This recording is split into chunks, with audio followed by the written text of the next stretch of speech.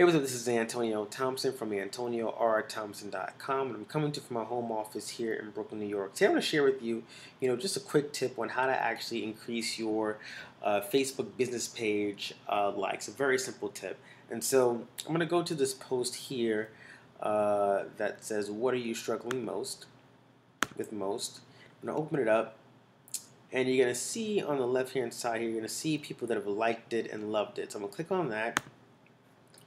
And it's actually going to pull up all the people who liked it and loved this particular post. Now, there are approximately 149 people who have uh, expressed a reaction to this post. And what I'm going to do, I'm actually going to go ahead and invite the people who aren't liking my page. So we go here, invite, invite, invite, invite. I'm inviting them to like my fan page. And when they do, that will increase my Facebook fan page likes.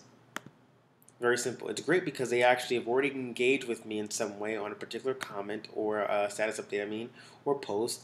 Now I'm inviting them to connect with me further by liking my fan page. Very, very simple. All these people. Look at that.